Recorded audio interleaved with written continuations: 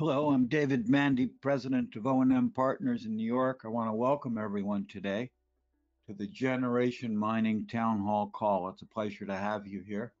Um, Generation trades on the Toronto Exchange under the symbol GENM.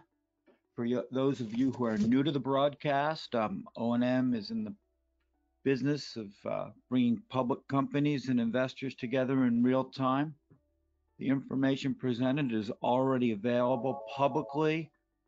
We're hoping that this broadcast will bring this information to your awareness, clarify context, and help you make a better informed investment decision. O&M Partners is a communications company. We're not commissioned um, and um, take no money from Wall Street. This is uh, a communications vehicle.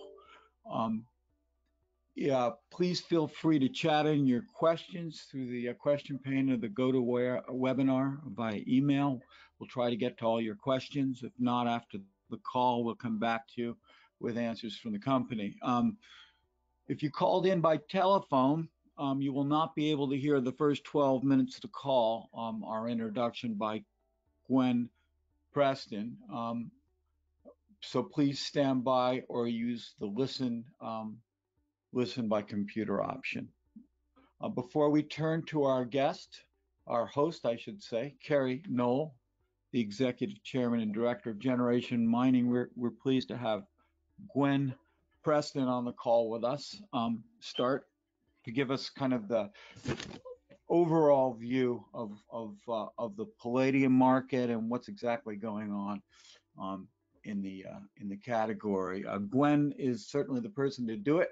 Uh, she's a senior writer with the Northern Miner. Um, spent has spent years visiting projects, interviewing geologists, um, talking to analysts and management teams to understand the projects. Um, in the midst of these two years, uh, she spent two years. In the midst of all this, she spent two years with Casey Research, where she learned more about the capital markets and the newsletter business. Um, she has a deep knowledge base. It's a real pleasure to have Gwen on the call.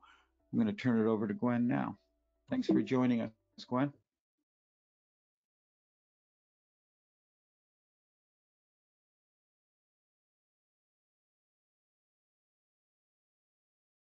Well, good morning, everyone, and thanks so much for joining us on the call here today. I am just going to try and give us a bit of an overview of the Platinum Group Metals market. I'm sure if you're on the call, then you are interested in the market and probably know a reasonable amount about it. So uh, I will keep this fairly brief, uh, but it's a pretty interesting space. It's a pretty dynamic space right now, uh, and it's one with some very interesting investment opportunities as we are here to learn about today. So this slide's fairly obvious. This is the starting point of this discussion. It shows the platinum and palladium price charts for the last, I think this covers 15 years each. Yes, 15 years each. And so the point, I mean, it says starting point. It is the starting point of this discussion clearly because these are very different price charts. Obviously, we have platinum, which went on this insane price run in the last precious metals market, gaining 450% in seven years. And that move really mattered because when a required component in a car part quadruples in price, car makers respond. They don't want to pay that much. And so they switched from platinum to palladium. And so you can see the result of that the platinum price has declined steadily over the last nine years, while the palladium price has moved in the opposite direction. And of course, that, that price move got quite a bit more dramatic in the last year, and palladium is now uh, worth more than gold and uh, a lot more than gold and is at all time highs. Okay, so why did that matter? Um, because this increase in demand from car makers auto catalysts now represent 75% of the palladium market. So we went from very little to 75%. That's a huge increase in demand on palladium, and supply just couldn't keep up. Most palladium is produced as a byproduct from mines that are primary nickel or platinum. As, as a, a good example is the fact that Norilsk Nickel is the world's biggest palladium producer. So uh, that in itself means the fact that the metal is produced primarily as a byproduct means that it is difficult for palladium to respond to price increases. We need the price to increase for nickel and platinum for those mines to start producing more. Then you layer in the fact that the, the platinum mines from which we get our palladium are largely in South Africa, which has been plagued with cost, power, and labor issues. And we have a palladium market that's been in deficit for eight years now, and a significant deficit. This isn't just a little bit missing. This is, we're now very short on palladium, and we have been for quite some time. And we don't have any solution in sight. I mean, the quotes that I have here And there's no solution to this problem in sight. So JT Matthews is sort of the uh, leader in assessing the PGM market. And these two quote, this, this, the quotes at the beginning of this slide are from them. The, the palladium deficit is likely to deepen in 2020 as key car manufacturers are required to comply with even more stringent environmental re requirements. And so that simply means more of the precious metal in those autocatalysts, and that's going to live, lift world automotive demand above 10 million ounces. Look at what I have circled on this slide. That is total supply. You can see that that's 6.9 million ounces. That's a big gap, right? Just autocatalysts alone need 10 million ounces, and gross supply or total supply is only about 6.8 million ounces, 6.9 million ounces. That's the deficit that we're facing, and it's not going to change this year. Will it change in the long run? Yes. It will change for two reasons. First of all, there are new palladium projects and mines being advanced, expansions at operations, but those aren't really going to have an impact for another few years. 2023 is sort of when those mine expansions start to come online. Um, and over that same time frame, we are all sure that car makers will start switching back again. If platinum's going to be way cheaper, let's go back to using platinum or probably have some sort of middle ground, right, where they use both so they stop pushing these prices in opposite directions. So that will happen, but both of those things take time. They are not going to have an impact this year. And so the palladium market is going to remain in significant deficit this year. what does that mean for palladium prices? It's pretty hard to predict that palladium prices are going to jump from here when we're looking at a price that has already moved from a thousand bucks to pick your price 22 2300 dollars in the last little while. So i'm not going to stand here and say that palladium is going to keep running. What i am going to say is that we are in a new palladium price paradigm and that's a pretty hefty statement. This is a long-term price or this is not such a long-term price chart but this looks back at where palladium has come from. Palladium was worth only was worth less than a thousand dollars an ounce for many many years. Now it's worth over two thousand dollars an ounce. That's a new paradigm and that matters because it makes projects it puts projects in a completely different set of calculations in terms of whether they make sense. Now when we have prices that jump vanadium or molybdenum um, or those prices jump you don't want to immediately start looking at projects and saying, oh, well, it didn't make sense at the previous price, but at this amazing new spot price, it makes sense. But when you're looking at a market that has this fundamental deficit that is going to persist for quite a few years and will only be solved by bringing new mines and new projects forward, you do need to incorporate a dramatic change in the pricing paradigm, which is what we're looking at with palladium. It's happening because we need new mines. So let's use some more aggressive pricing when we're looking at mine um, calculations. And so, what this all comes down to for me is that um, the palladium fundamentals are very strong. The price has run, but we need new mines. That, that's the reason the price has, has run. And so, it basically, for investors, it makes sense to have, in my estimation, project level exposure to the palladium market right now. I think the price is going to remain elevated for the foreseeable future, the next year for sure, likely considerably longer than that because I don't see the fundamentals changing until 2022 at the earliest, 2023 perhaps. So I think we're going to have an elevated palladium market for quite a few years. In that context, it's project level exposure right now that makes sense because palladium stocks have absolutely moved, but there just aren't that many to choose from. There just aren't that many projects that are advancing towards uh, mines and therefore could contribute to helping to solve this problem. So I think that project level palladium exposure makes a lot of sense right now. I do want to say, what about platinum? This is, uh, I, I did want to address both sides of this. Well, if you look at this chart, um, you can see that in the last year, the price of platinum, which had declined for many years, uh, did start to recover this year. And the reason that it did that was investment demand. It was not from industrial demand. It was not from catalytic converters. It was from investment demand. And that was for two reasons. First of all, there was a sense that the price had come down so much, there had to be an investment upside. And it was a bit of a self fulfilling prophecy because as investors moved in to take advantage of that potential upside, they created it by pushing the price up because they bought into platinum ETFs. Platinum ETFs then had to buy platinum. That helped the price gain. So they created a bit of their own um, uh, outcome, which is great.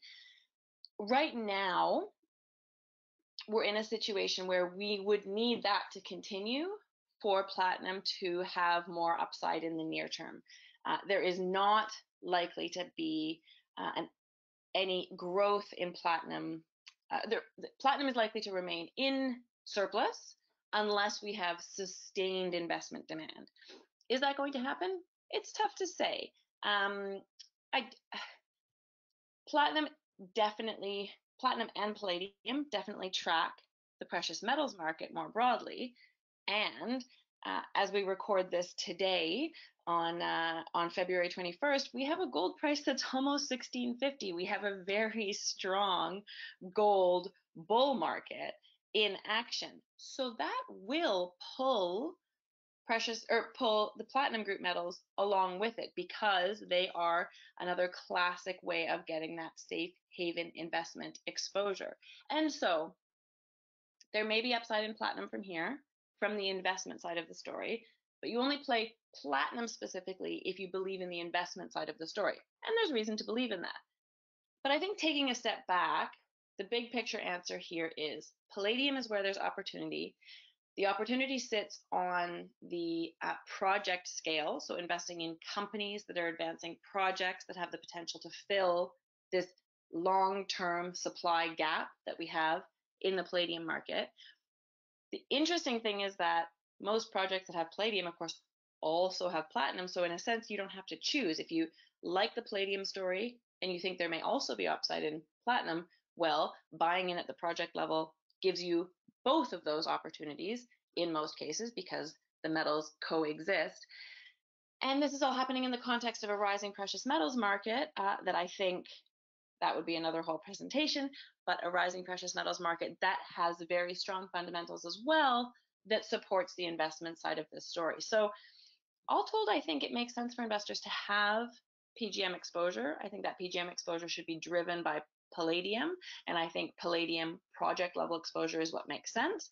Uh, I think there's not a lot of, uh, it's a difficult game to try and guess what precisely is going to happen with the palladium price from here, but it, there's good reason to believe that we're in a new price paradigm for palladium, where projects that perhaps haven't made sense for decades now make not only make sense but are needed because that because of this deficit in supply that that has no near-term solution. So that's my overview of the market. There's a lot of these topics that we could dive into in a lot more detail, but I think that suffices for now. So thanks very much for uh, for your time today. And if you have any questions, please always reach out to me, Gwen at resourcemaven.ca, or check my website, which is resourcemaven.ca.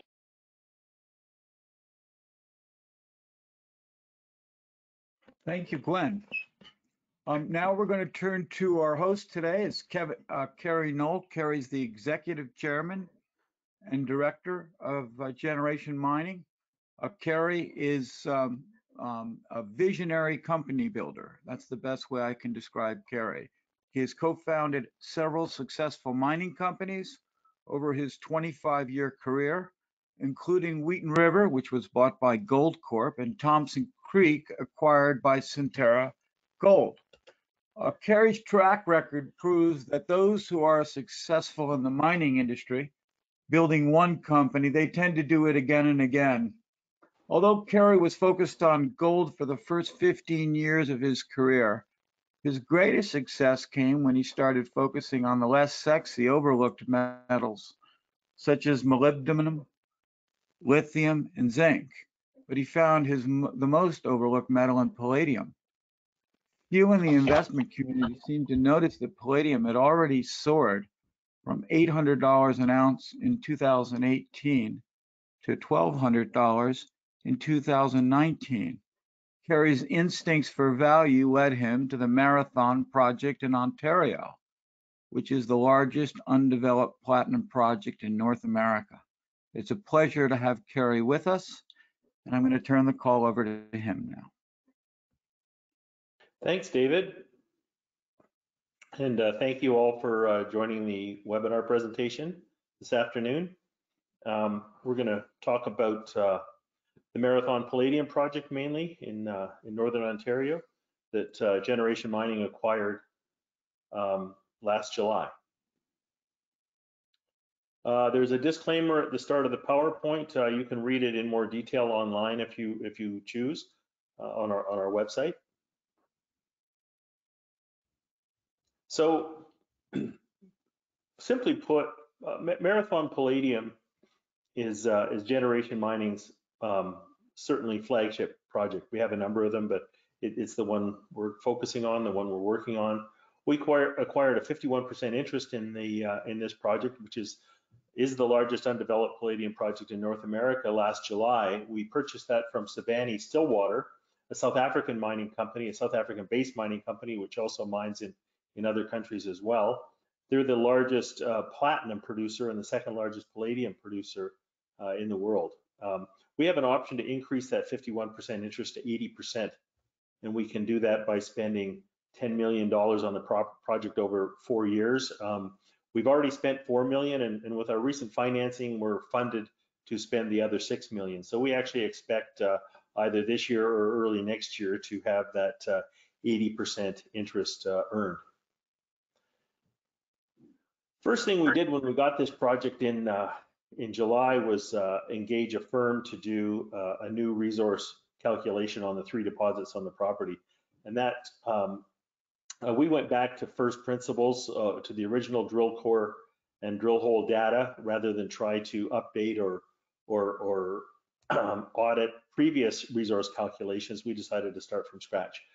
And um, in the measured and indicated category, which is the categories that you need to eventually turn into reserves when the economic calculations are done, um, we came up with 8.6 million ounces of palladium equivalent and uh, uh, an additional 915,000 ounces of uh, inferred palladium equivalent ounces. So it's a sizable project by any uh, by anyone's um, uh, imagination. You, you don't uh, you don't find these very often, and in fact, there are very few of these in the world. And that's one of the one of the issues we had when we originally started marketing this this project and raising money for it was trying to get people to understand how rare palladium was. And you know, one of the examples I saw was at last year's PDAC, the big mining conference in uh, in, in Toronto, um, of, of, hundreds and hundreds of booths at the at the Investors Exchange.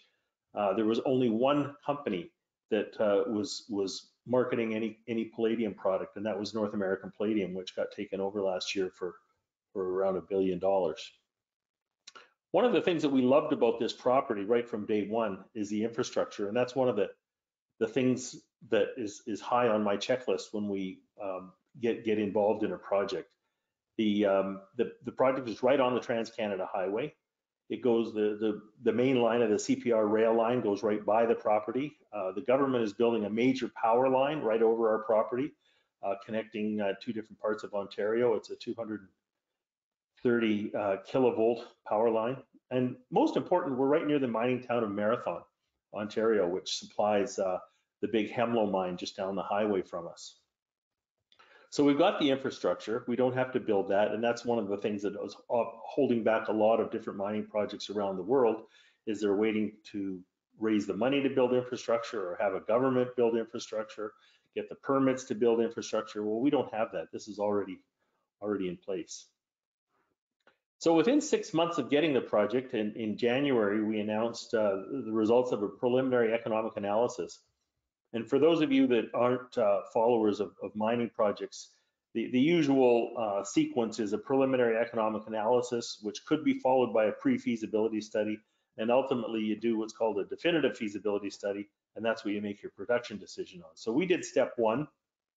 Uh, and we announced that uh, in on January 6th, and the numbers which I will talk about a little a little further on in the presentation were were very good, and it, it surprised the market, and uh, also talk a little bit about what the market uh, reaction was to that. Um, one last point uh, on this page is that we have uh, currently 14 million dollars Canadian in cash um, as of February 15th. We also have some some uh, warrants that uh, from a previous financing that are well in the money and, and getting exercised.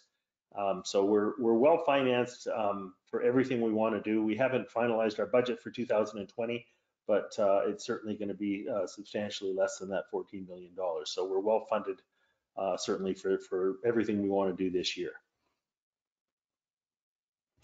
There's a breakdown when I talked about the 8.6 million ounces of uh, palladium equivalent and measured and indicated there's a breakdown of the different metals we have.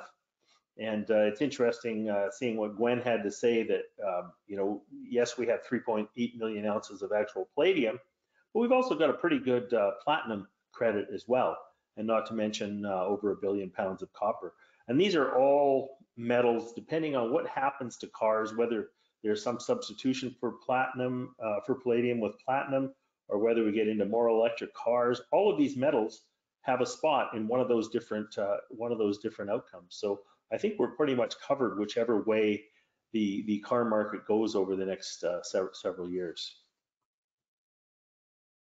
I was talking earlier about location. We're in a interesting spot um, right uh, just just off Lake Superior. We're about uh, 10 kilometers north of the lake, and it's uh, uh, it's it's a it's a lake that has had a long history of mining all around it. Uh, the, there, there's certainly the big Hemlo uh, gold mine uh, down the road, which has produced about 25 million ounces. Uh, there's the White Pine copper and the Lundin uh, nickel on the south shore on the big Keweenaw copper belt that produced 11 billion pounds of copper. There's the North American palladium mine just up to the northwest that got taken over last year. So we're in a in a pretty established mining area, which is important. it's important for permitting. It's important for geology and and and certainly it's uh, it's important for us because it's it's close to home. We're based in Toronto. It's not far. Uh, it's a very short flight to get there from Toronto. Uh, you can fly directly into the into the mine. If you go onto the next page of the PowerPoint, uh, you can see on the bottom um, on the map there, uh, the Marathon Airport is literally surrounded by our property, and, and you can land on the uh, at the airport and be over at the main marathon deposit literally in minutes. So I talked earlier about the, the location being uh, near the town of Marathon. One of the important things about that for us is that uh, as the Hemlo camp is running out of ore, the gold camp, the uh, town has shrunk in size. It was 5,000 people, now it's 3,200 and, and, and, declining uh, as, as Hemlo, um, the Hemlo workforce gets smaller and smaller. And as a result of that, the town has, has become somewhat depressed. And, and the outcome of that for us is that the town's people, the mayor, um, the, people we've talked to in the town are, are 100% behind us building this mine. And, uh, you know, for, for some of them have even indicated to us that they can ride their bicycles to work if we if we build this mine. It's so close. So it's um, it, it it's really something that we um, um, want to work with the town and work with the local native groups, and we're, we're in discussions with them as well, and that's going well. Um, uh, lastly, I, and I, mentioned the government's building this billion dollar uh, power line, and that's going right over our property. Uh, previous uh, studies on the on the project indicated that there may or may not be enough power locally uh, to support this mine, but with this new power line, that uh, that issue goes away. I'm going to talk a little bit about the history of the project now. It's uh, it's been worked on for a long time by a lot of different people. Um, I was actually first on this property when I was a reporter at the Northern Miner in 1985 when I was covering the Hemlo discoveries and I was up there uh, in in looking at it, and it was very low grade then, um, considering uh, palladium was only about $200 an ounce. I didn't think that it was ever going to go anywhere. And you know, shoot ahead um, 35 years, and and uh, we own it. Um, it was uh, developed up until uh, 2010 by a company that uh, really did a good job advancing the project, and um, that company was called Marathon PGM and uh, they, them and other companies drilled uh, over a thousand holes on the property, uh, over 200,000 uh, meters of drilling. Stillwater took over Marathon based on all of that work in 2010 for 118 million US dollars. Then they turned around and sold 25% of the project to a Japanese um, smelter company called Mitsubishi for $81 million in 2012. In 2014, they redid the feasibility study and realized that it probably at $500 per ounce palladium, this probably was not economic. And they put it on the shelf. Uh, those of you that follow mining would know that Stillwater put everything on the shelf in 2014. And then in 2017, they were acquired by um, uh, uh, Sibanye Gold and changed the name to Sibanye Stillwater. That's a South African company. And again, um, Sibanye did very little work on the project.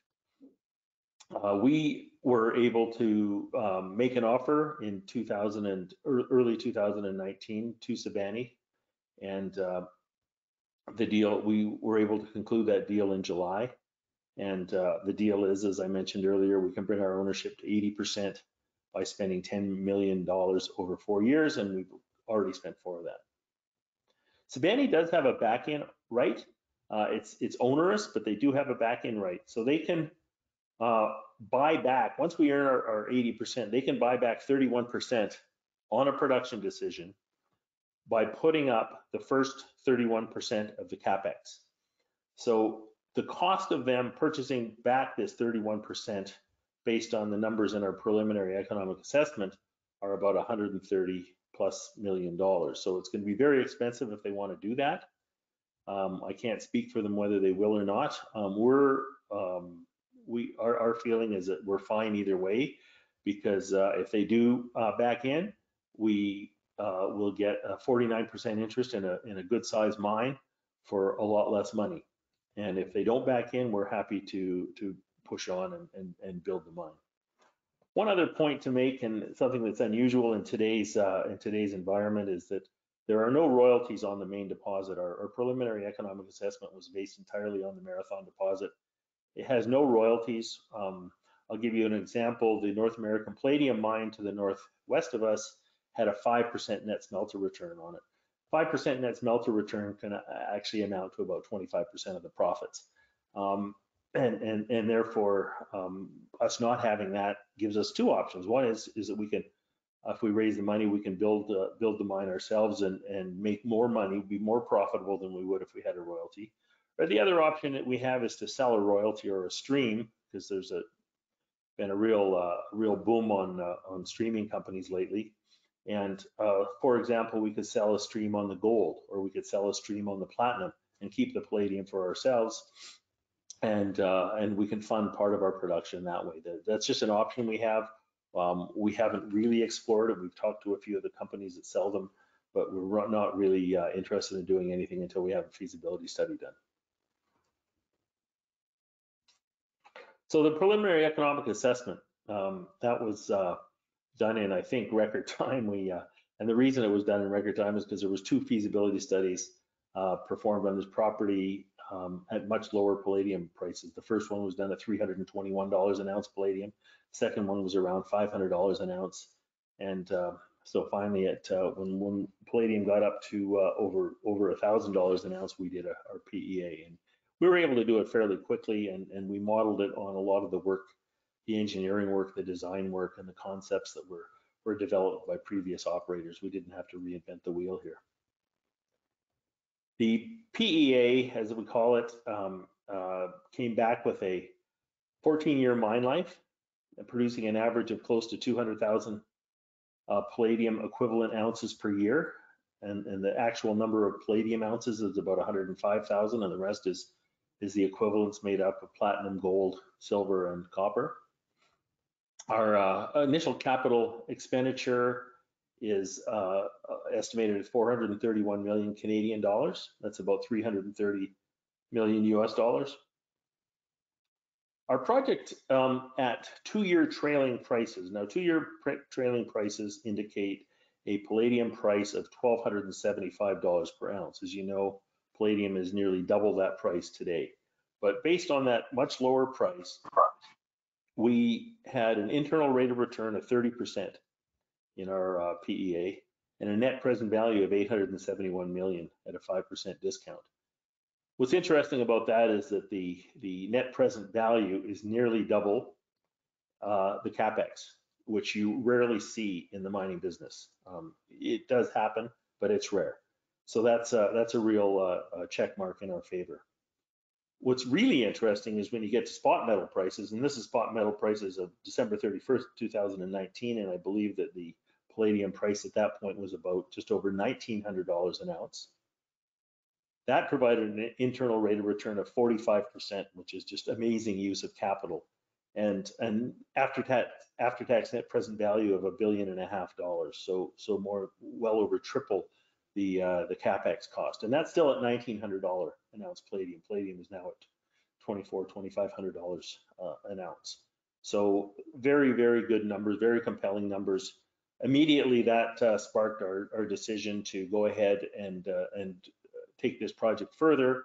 Uh, we're planning to, uh, once we get our team together, and when I say our team, I'm talking about our, um, our, our, our the engineers that are going to see us through this next phase, um, and we're in the process of interviewing and hiring uh, them.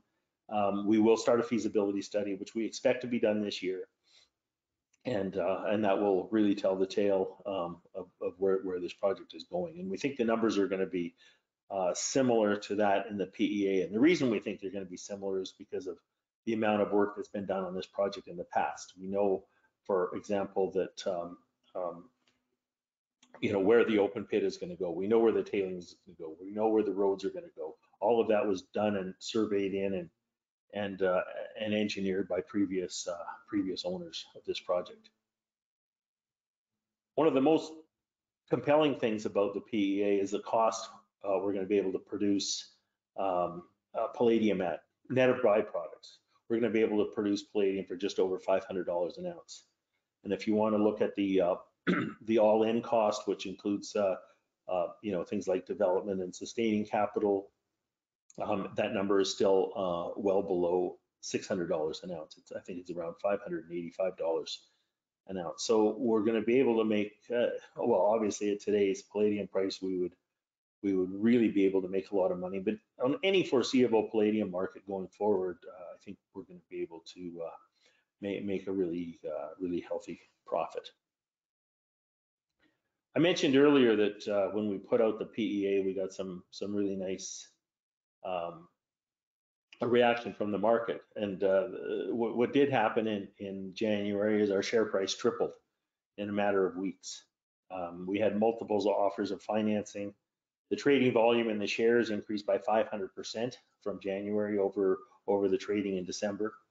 Um, obviously, the news was was really well accepted by the market. Of course, we've we've had a few things happen. The prices come down a little bit since, and and, and one of the reasons for that, I I think, has to be pointed to the what's happening with the, uh, the, the this Chinese virus that that's uh, uh, plaguing the world. Um, the the the ground zero of that virus was was a city in China where a lot of the cars are made, and those factories are are not operating right now. So you have palladium starting to come down in price, and and the palladium trading companies like Norilska, you know, they're coming down in price, and we've come down with them. But we the longer term, um, that that's all going to get cleaned up at some point, and people are going to go back to buying cars, and they're going to go back to manufacturing cars in China.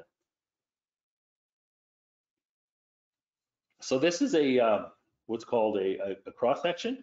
Um, it's a cutaway of the earth for those of you that, that aren't uh, in, in the mining business. Um, and the reddish area, brownish reddish area there is uh, is the ore body. It's um, it's um, it's thick. It averages about 34, 35 meters thick. That's that's well over 100 feet.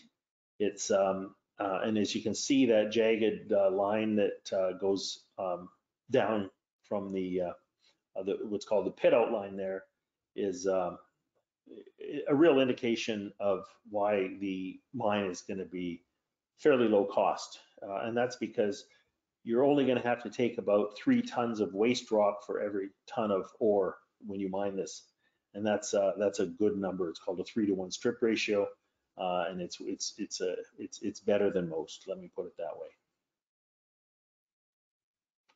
This is what's uh, called a plan view, a site plan, and this is what it's going to look like uh, when it's in production, actually towards the end of the mine life. There's going to be three pits, uh, a small one in the middle and a much bigger one to the north and a, and a medium one to the south. Um, we're going to be able to, we've got a spot to put the waste rock right next to the pit, which is great because there's going to be about uh, several hundred million tons of that and we don't have to haul it that far away.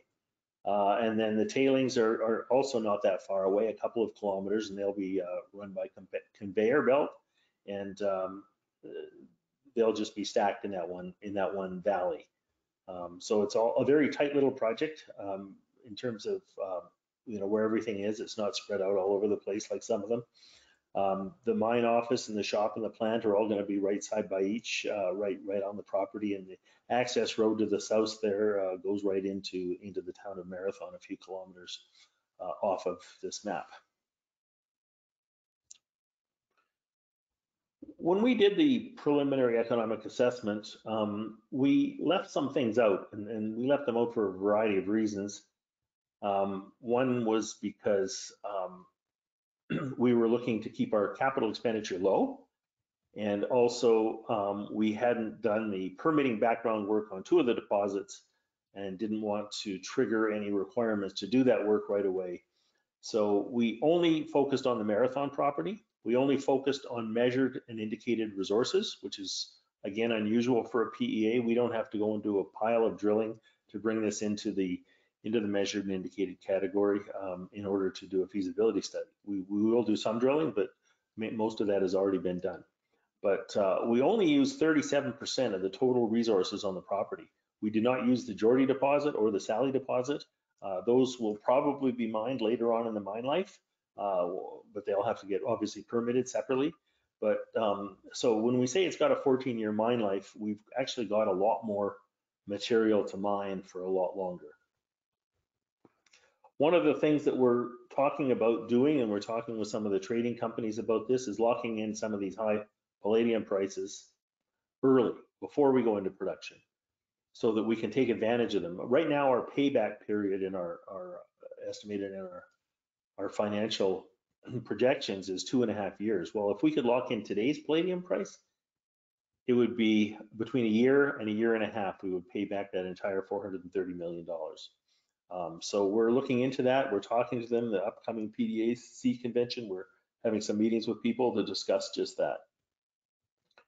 Uh, another uh, initiative we're taking is to uh, do some metallurgical test work. There's been a lot of developments in the metallurgical areas since it was last done eight years ago on this property. And we're gonna see if any of those work on our, our rock. And metallurgical test work can improve the recovery Right now, our recovery is about 82% of the palladium and about 89% of the copper. We'd like to get those numbers a little bit higher.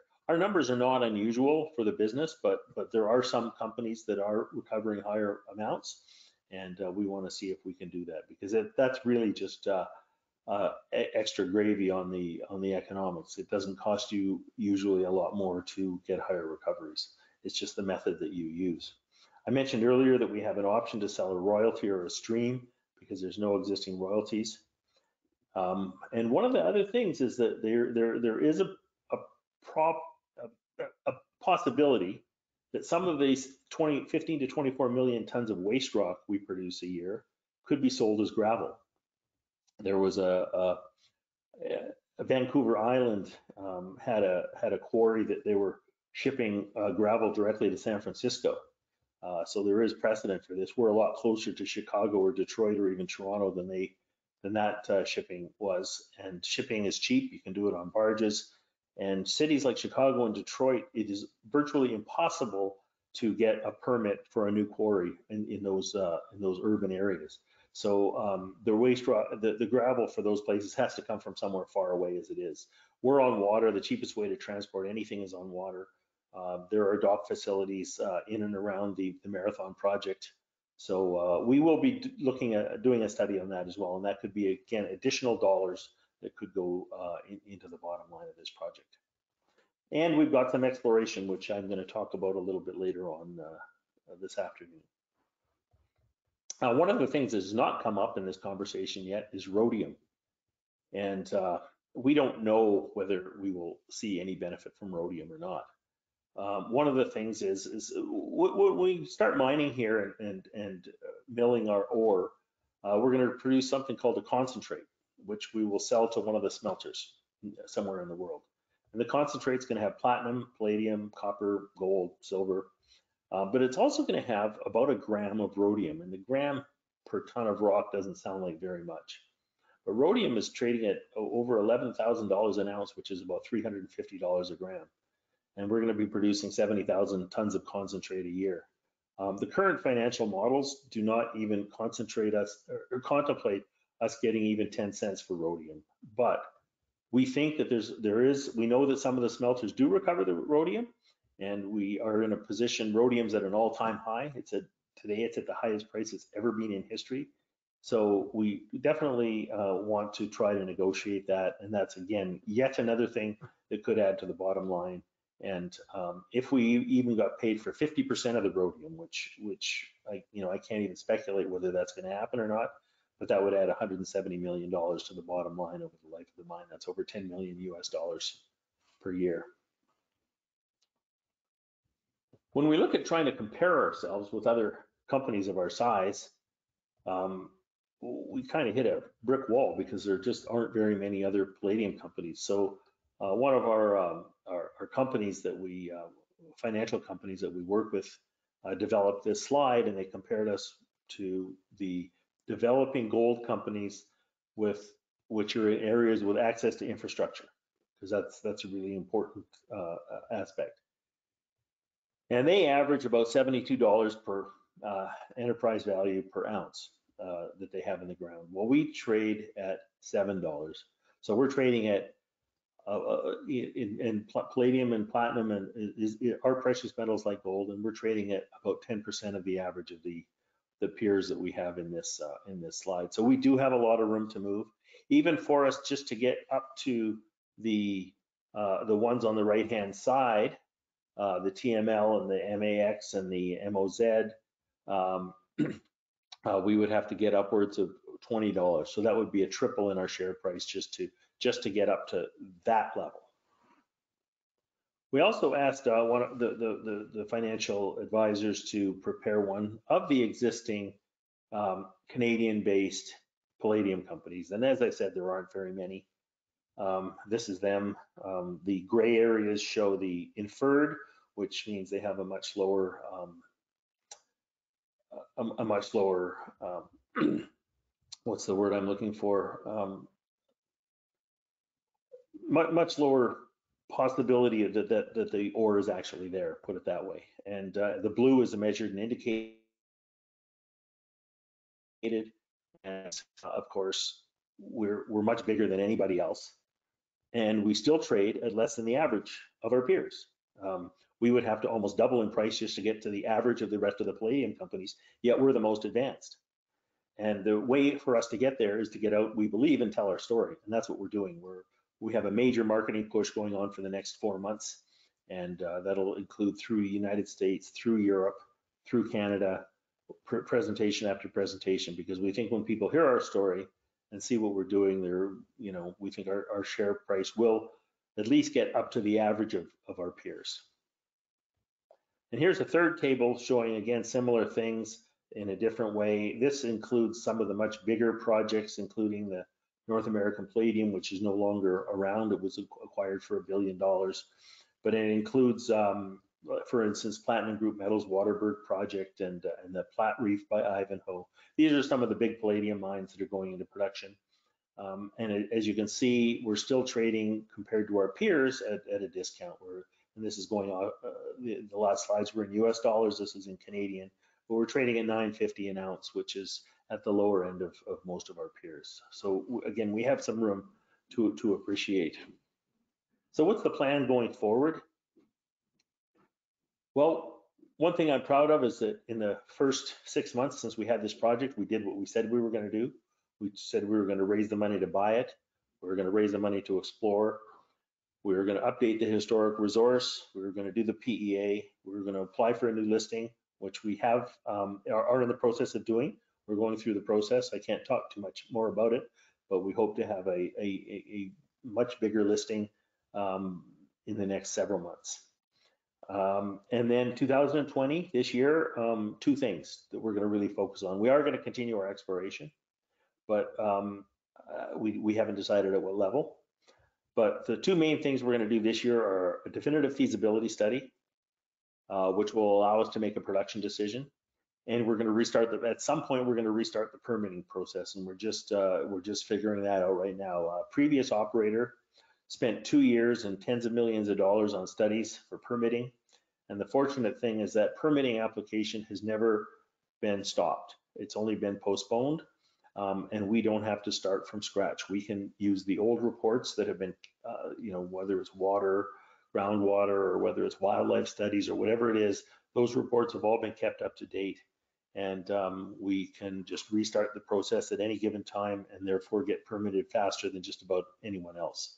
And uh, the new Ontario government that got voted in, I think about 18 months ago, uh, but by uh, the new premier Doug Ford and the new the new minister in, in responsible for mining has said that he one of his main goals is to improve the amount of time it takes to get a mine permitted in Ontario. So we've got a government that's pro mining.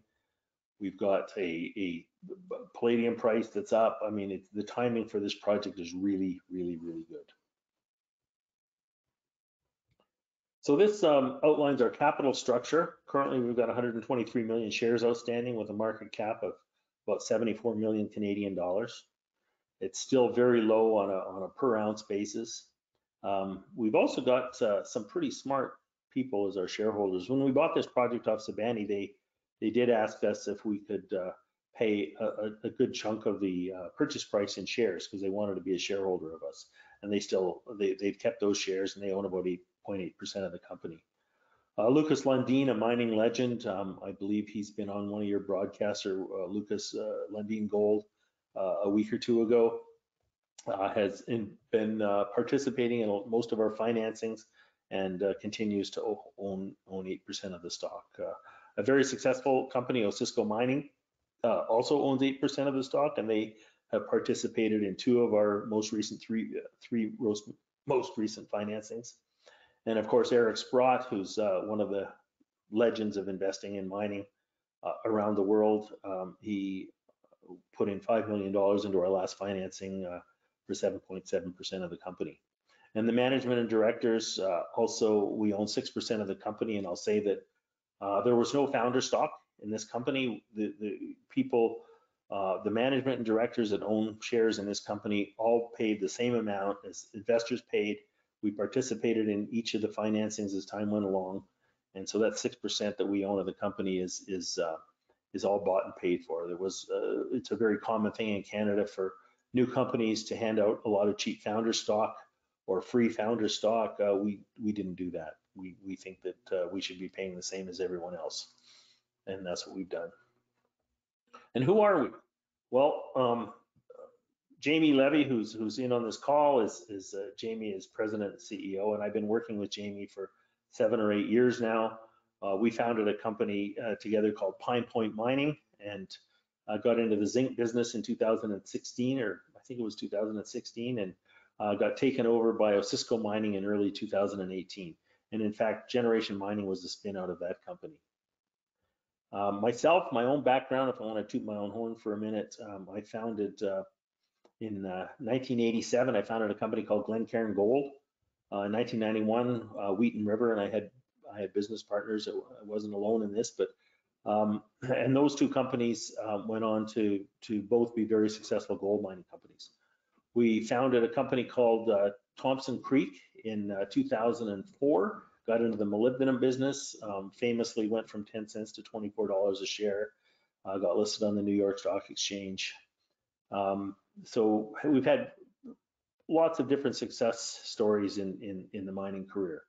Uh, not every deal has worked out and nobody's, nobody in the mining business has had every deal work out. That's the nature of mining. But, but one thing I will say of the six companies I've founded, all six have been taken over at one point, and four of those six got into production. And that was junior from a junior mining startup. That's, that's a really unusual statistic. Uh, just adding to, to our team, uh, Rod Thomas is our, our VP Exploration. Rod was used to be president of the PDAC. Uh, Brian jo Jennings just joined us. Uh, he's a CPA. Um, he's run several junior mining companies himself and was a former vice president of Ernst & Young. Um, and and then the and, and I, am not going to get into detail on our entire team, but we we do have a really good team of people. And of course, governance is, is hugely important in the mining business. And uh, I think we've got uh, a very strong board of directors. I mentioned uh, Rod and Jamie and myself, but uh, there's four independent directors. Uh, Cashel, Cashel Meagher just joined us. Cashel is Senior Vice President and Chief Operating Officer of Hudbay, a multi-billion dollar company and a company that is, is, is built mines recently. So he's got that experience. In fact, he built one of their, their big mines for them uh, Stephen Reford, who's a geophysicist and, and, and um, president of one of the most uh, well-known geophysical companies in the world. Paul Murphy, who's chairman of Alamos Gold, a billion dollar plus uh, gold mining company. He was also chief financial officer of Guyana Goldfields, and he was head of the mining group uh, in, the, in the entire Western Hemisphere for Price Waterhouse Coopers. And uh, not last but not least, uh, Phil Walford, he was uh, is, is, a geologist, uh, was CEO of Marathon Gold, which is developing a very promising gold deposit in, in Newfoundland, Canada. Uh, but he was also president and CEO of Marathon PGM when this company was sold to Stillwater back in 2010. So Phil has has a, actually about a 27 year um, uh, uh, worth of experience with this project. He's he's seen it he's seen it from when it was a lot smaller and and a lot a lot more difficult to develop when when when prices were a lot lower. So he's he was very happy to uh, to be invited on to our board. This is a a rock. and this rock is uh, something that we found on the property, or we didn't find it. It was actually found by uh, um, by Sibanye a, a year uh, or two before we uh, before we got involved. But what's interesting about this rock is first of all the grade, 188 grams of PGMs, platinum group metals. So that's platinum, palladium, rhodium per ton, 9% uh, copper. I mean, this is a super rich piece of rock. What's really interesting for us is that this rock we don't think came from one of the deposits on the property. It's it's massive sulfide, which is different than um, the kind of rock that we're mining. And um, a lot of very smart people who've looked at it and, and, looked at this property think that there's a pretty good possibility that it was it was transported from somewhere down in the earth uh, during one of the volcanic eruptions that took place that that formed our deposits in the first place, and they were formed a little over a billion years ago. And so as a result of that, we're looking for the origin of this rock because it's very possible that there's a very, very high grade deposit somewhere down below. And we're doing geophysics. We did some last year. We've done uh, did some the year before. Uh, Sibanye did some before we we got involved, and we've generated some drill targets, and we hope to be drilling those this summer and looking for the origin of this rock. So Again, we don't need any additional ore bodies. As you saw, we are only using 37% of what we have for our, uh, our economic analysis. But if we can find something that's a really high grade deposit, that would be, again, yet another game changer uh, for, for this project. So that concludes the, uh, the main part of the presentation. I think at this point we can start talking about uh, uh, the question and answer period. And I'm here. Thank you, Kerry. Thank you, Kerry. Great, great presentation. We'll go to asking questions now. Um, we're going to start with Doug Loud. Doug, questions today for Kerry? Since one of my favorite questions is what is the status of the permits, I'm glad to hear that you're well along in, in the wonderful world of permitting. how long do you think it is before your permits would come alive? Well, um, it's, as I'm sure you know, um, a mine requires about hundred permits. You Yeah, Permits for everything from sewage to road building to putting in culverts to, uh, environmental to tailings disposal, waste rock, etc. You need a lot of permits. But there's two main permits you need and, and there's an operating permit and there's an environmental, uh, impact study that you need approved by the government. And those are the ones we're gonna be focusing on. And, uh, I can't give you and I will never give somebody an absolute timeline on permitting because um, permitting is something that that is, is just, as, as you know, takes on a life of its own. What I can say is that where we are in Northern Ontario, in the, in the western part of Northern Ontario, a number of mines have been permitted recently. Um, a mine started up not far from us, Harte Gold. There's mines in Red Lake that have been permitted. So we're in a position where um, the government and the people we're dealing with have permitted a number of mines recently. Number one. Number two, um, this mine does not produce much in the way of acid rock drainage or uh, of any other things, uh, sulfides that go into the into the um, into the water, into the rivers that cause long-term problems, and they're the real stain that mining has had over the years on on the environment. We don't have those those issues. So again, I think for those reasons, our permitting time will be relatively short. Um, our goal, our goal is to get it done within a couple of years and be, be, be building the mine within a couple of years. Um, I, and I think it's achievable, given that uh, Stillwater has, uh, in the past, already spent two years on it. Um, I think, I think we're gonna be able to do that, but I, don't hold me to it because, you know, governments come and go and uh, bureaucrats come and go and, and no, I, I understand. Are- Is Mitsubishi still have that interest?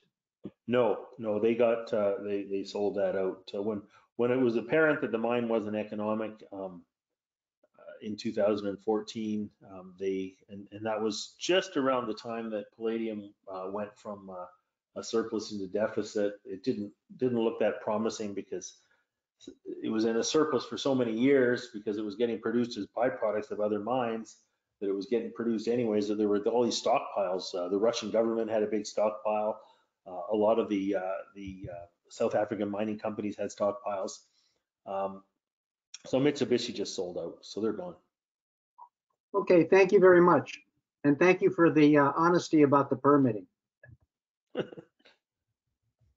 Thanks, Doug. We're going to turn to uh, Glenn, Glenn Galata. Glenn, do you have a question today? For Kerry?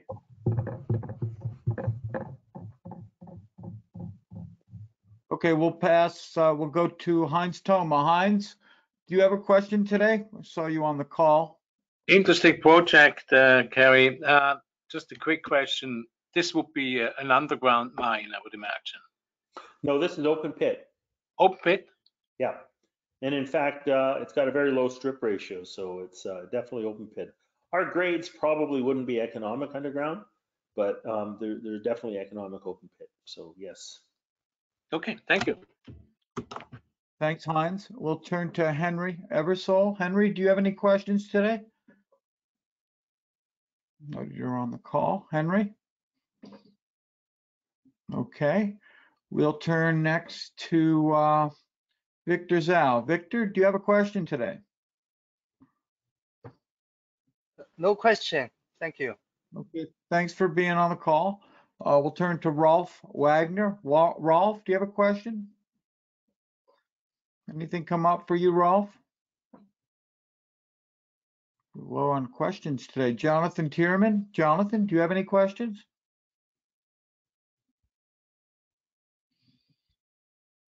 Please.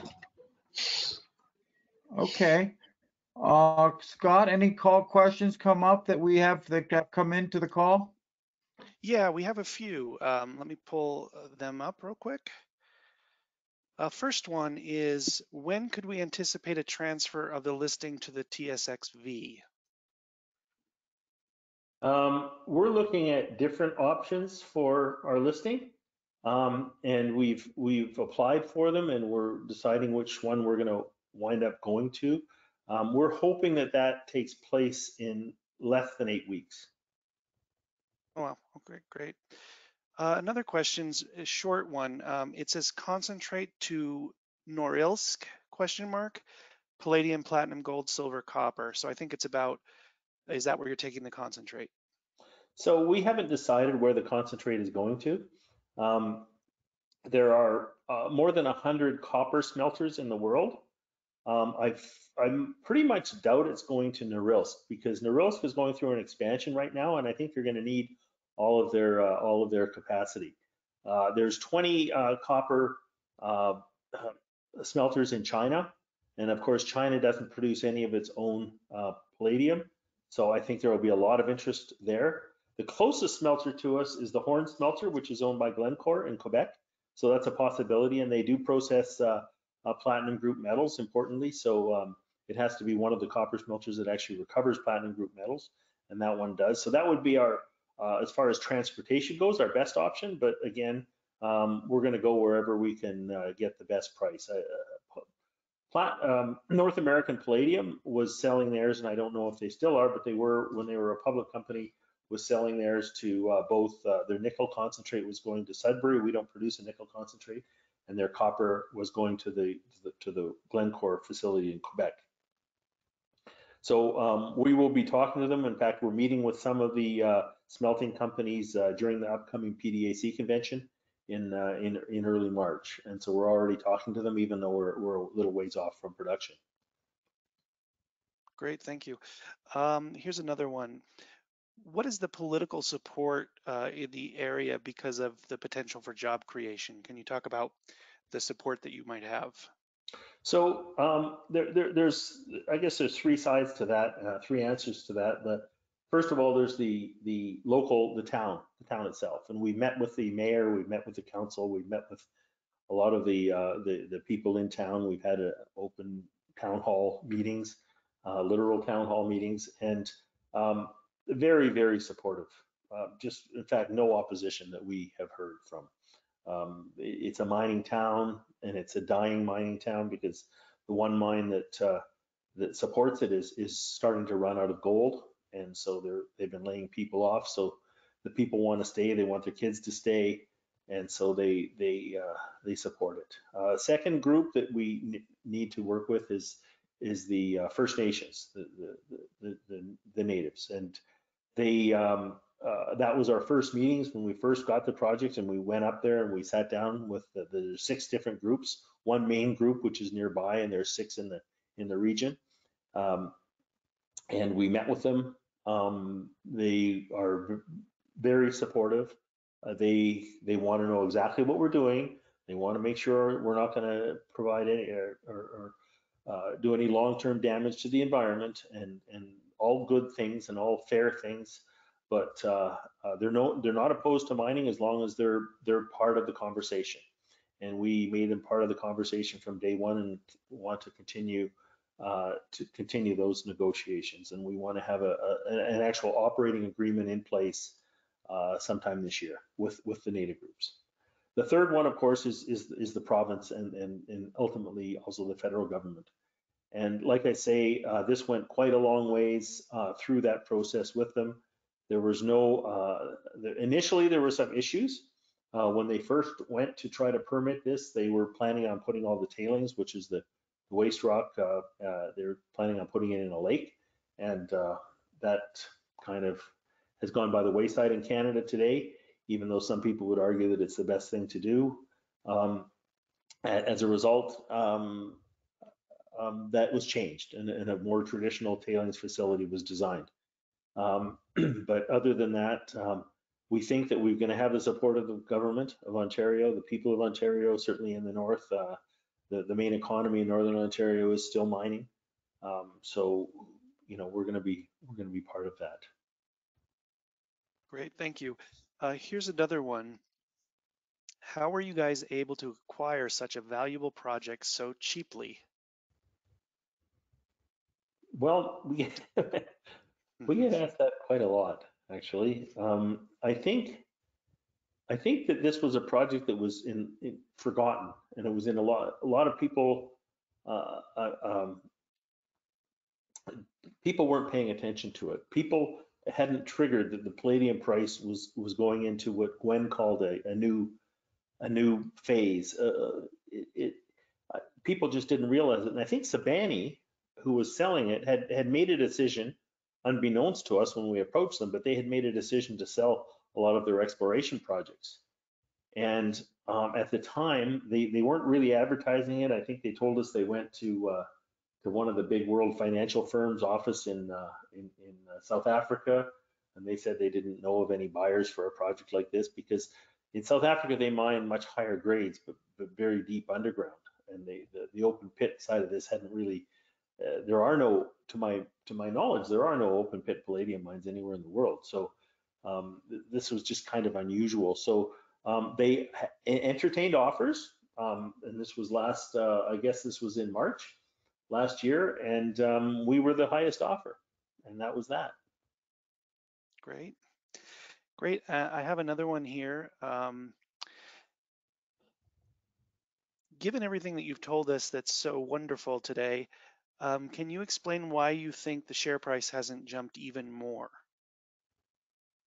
You kind of answered this one, but I don't know if you have another comment. Well, I think I think uh, uh, I think it's a lot of things. Um, when we go out marketing, and I don't know how many people on this call have heard of us before they got the email to be invited onto this call. But as we go around into the United States and into Europe and across Canada, and we just, you know, it's it's it's it's a lot of time and to to do that. Um, and as we go around doing that, we find that almost everyone we meet has never heard of us before. So it's our job, I think, to get out and tell the story better than we have been, um, and to continue doing that. And that costs money and it costs a lot of management time. But I, uh, we are going to continue to focus on it. We've obviously had a very, very busy six months. Um, you know, getting all accomplishing what we've done in, in been seven months now since since we got this project.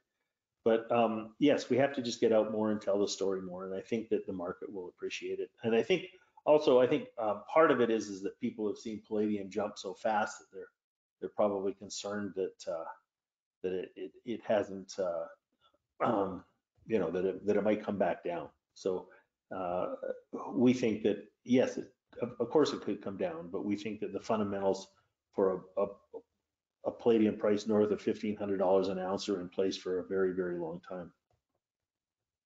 Well, you're doing a good job of getting out there today, Kerry. Um, got a good group here. Um, I'm going to turn back to Doug Loud. Doug, anything we missed today before we proceed to close? Doug has anything? We got to unmute Doug, please. Hey, Doug. Heard some really good stuff and it's very interesting. And um, I shall pay a lot of attention. Thank you. Thanks. Thank you, Thank you. Doug. Thanks, Doug. Kerry, I'll turn back to you for closing remarks. Well, I just want to thank everyone for taking the time to uh, to hear the story. Uh, please contact us if you have questions. Um, if you're at the PDAC conference, uh, come by our booth. Um, and uh, if we come to your city uh, in our rounds, um, you know, watch. We're going to be posting our, our, our different presentations on our website, and uh, just watch for it. And uh, you know, you're welcome to come and hear the presentation, meet us in person. Thank you, Kerry. Thank you for presenting today. And I want to thank everyone for your presence on the call and wish you a pleasant evening. Take care. Thanks.